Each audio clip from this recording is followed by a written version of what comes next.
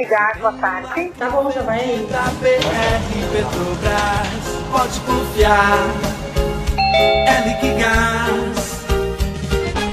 Quem cozinha sabe que na hora de botar a panela no fogo tem que estar tudo na mão. Precisou? Tá na mão. Você liga e a gente entrega rapidinho o seu Liquigás.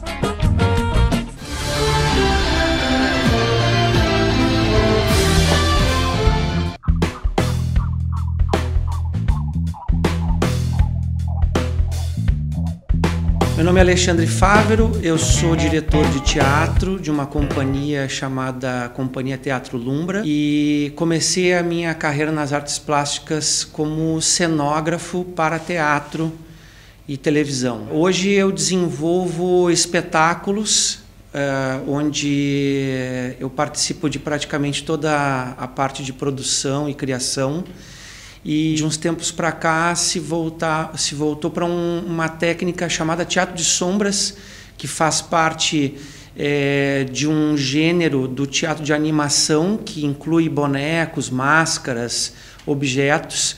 E o teatro de sombras se tornou uma, uma especialidade da companhia Teatro Lumbra, que é uma companhia de Porto Alegre, e hoje é, o nosso trabalho é uma referência no Brasil e no exterior como companhia que pesquisa, que estuda e que ministra cursos nessa área uh, da formação artística. Então, o teatro de sombras é uma arte muito antiga, mas acredita-se que tem mais de 3 mil anos de idade e que ela foi criada em diferentes países do Oriente. Depois ela se transformou, se modernizou, passando pela Europa e hoje uh, existem alguns artistas espalhados pelo mundo que se dedicam a fazer esse trabalho. Uh, eu tenho uma formação autodidata e misturo muitas linguagens e conhecimentos diferentes para construir um espetáculo de teatro de sombras. Então a gente trabalha desde a ciência da luz e da sombra até aspectos mais ligados à psicologia e à história para criar as narrativas, as histórias da, dos espetáculos que a gente monta. Então, quem quiser conhecer um pouco desse trabalho, tem um site disponível que é o clubedasombra.com.br e lá vão ter vários, uh, várias informações sobre aquilo que a gente vem pesquisando e sobre os, as obras de arte que a gente tem disponíveis uh, e circulando pelo mundo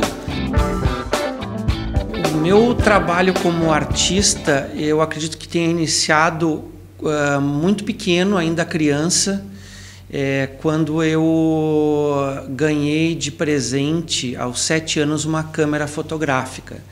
Acho que foi aí que eu aprendi a compor e a entender um pouquinho é, como se pode ver o mundo através de um aparelho, de uma outra forma uh, de uh, visualizar as coisas.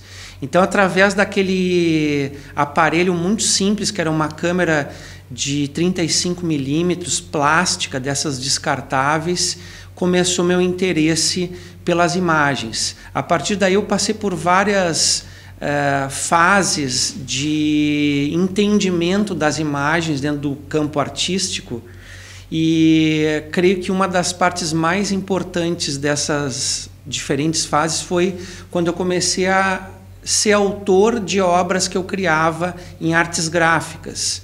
Então é muito interessante entender as imagens como uh, camadas de conhecimentos que a gente pode ir agregando a ela e ela vai se tornando a partir daquilo ali que tu vai trabalhando uma obra que vai ficar no tempo. Então eu escolhi talvez o teatro de sombras porque ele agrega uma quantidade tão grande de necessidades técnicas que me interessou como um desafio artístico. E cada vez que tu vai uh, te aprofundando nisso, tu vai tendo um conhecimento diferente uma pesquisa em cima de um determinado material, de como uma luz reage em cima de uma determinada cor, como tu, que tu viabiliza isso dentro de um determinado espaço, que tipo de público tu pretende atingir com as imagens que tu está criando.